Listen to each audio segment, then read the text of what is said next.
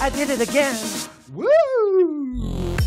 I'm Derrick Barry, and I'm from season eight. It's Derrick, bitch. You know me. Hey, Derrick. When I first came to Drag Race, I was focused on being the best Britney Spears impersonator in the world. yeah, yeah, yeah, yeah. I got so used to doing one thing that I really struggled to show people what else I can do. I put myself in a Britney box, and I'm doing my best to get out of that.